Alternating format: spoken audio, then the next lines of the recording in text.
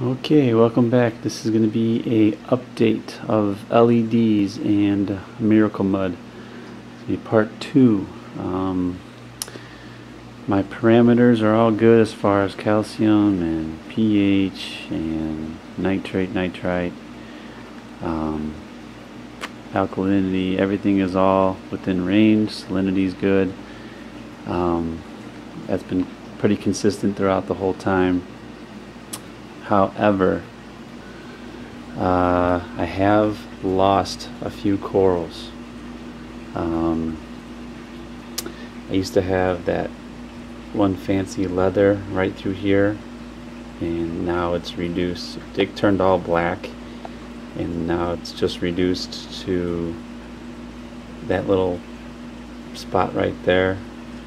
I cut it off and uh, kind of did its thing uh, just died on me. I don't know why. Just um, the only thing that people have been telling me is because my system. This is week or four months in right now, and my system is still still fairly young to have any kind of like you know fancy leathers or SPS corals.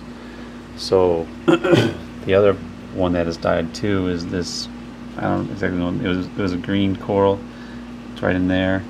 It turned all bleached white and uh, so I you know did the same thing. I kind of cut it off.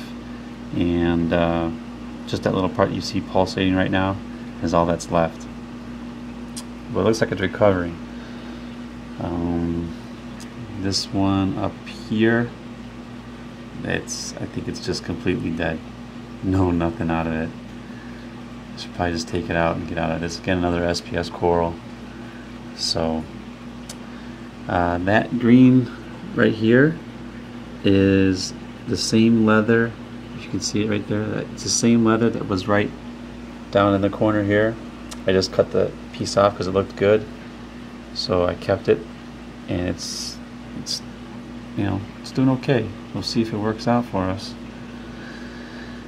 frog spawn here is doing its thing. It's still okay.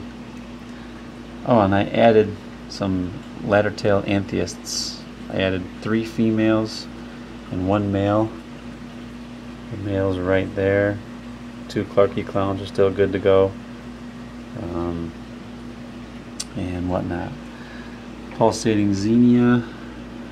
That thing is, is going real good. It's about doubled its size if you compare the last video to this video. Double in size. This one here is doing excellent as you can see it just used to be the, the, the bigger portion up there was full of corals. Now it's you know all the way down on its stem starting to spread on out past the uh, the plug there and looking real good. This here same thing. It's doing fine. I, hasn't, I haven't seen too many new heads on it but it hasn't died. So happy about that. Um, also here I have my my Duncan that's looking good. Okay. And uh, it's getting bigger. Starting to spot feed it. And hopefully we'll get a couple more heads on it. But it all takes time. This is the green star polyp. Right now it's not happy. I don't know why. Um, earlier today it was all out, um, looking great, and then all of a sudden it's uh, just right now as far as like recording it it all closes itself in. Um, then we have my leather. This used to be over there and then I just moved it over to here and it seems to be happy right there so keep that there. This is a new coral. This is the blue hammer coral. Again started spot feeding that. That's only been in here for about two weeks now. And um, you know hopefully that'll be all good. This, I think they call it a watermelon zoanthid or something like that. It has three heads. There's actually two more on the top of it. I don't know if it'll focus in, but there's two more, so that's good that it's growing. Same thing with these. There used to be only three. Now there's about six in there. Uh, it's hard to see. But yeah, there's about six in there, so that's growing good. And then we have this chalice. It's just a little piece of chalice that someone, you know, gave me. Um, and uh, it's survived so far. And I moved it from the bottom of the tank to this spot here to see if it'll calcify itself and then keep growing. And then, what else we got? The nightmare zoanthids. They're doing fine. They're doing great. This is a cap. I have two caps. This one here and that one there. And as you can see, this one has calcified itself to the rock and it's getting thicker along the edges and it's going to be hopefully growing good. Um, fuzzy mushroom is going great.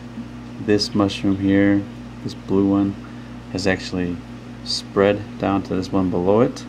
And there's another one it's inside the rock right in there.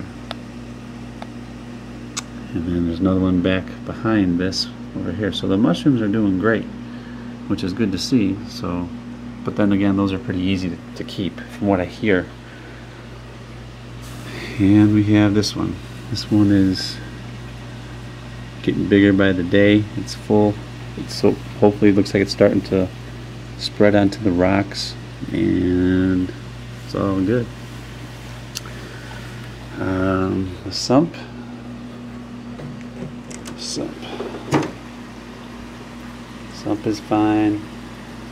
Um, I actually did have a leak that I fixed if you check the last video. But uh, I got this red slime algae, I guess. I've determined that's what they're calling it. But uh, it's it's huge. If anybody needs any, let me know. Um, here's the leak that I used to have that I fixed. I'm sorry if I can't get the camera back here. There's not enough room, but there's the piece I fixed. And it's okay. So that's good. Now, a couple people have asked me to update them on my freshwater tank. So,